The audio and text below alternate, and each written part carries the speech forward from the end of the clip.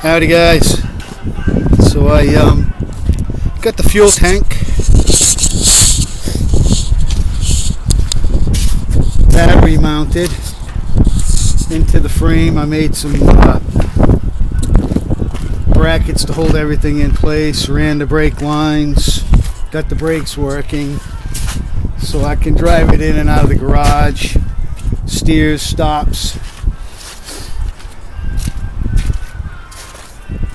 hooked the radiator up, but it leaks. So I'm gonna pull it out and I'll see if I can fix it because I want to try to use the radiator.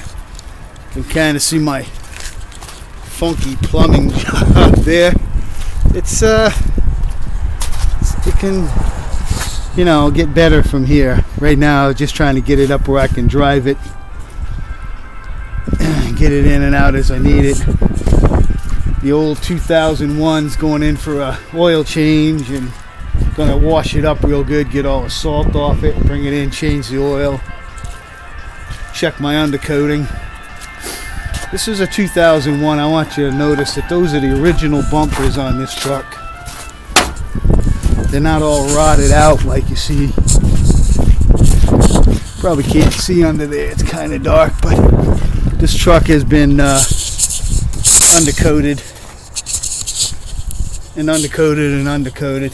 So you can see that this Sirocco panels everything. All still there.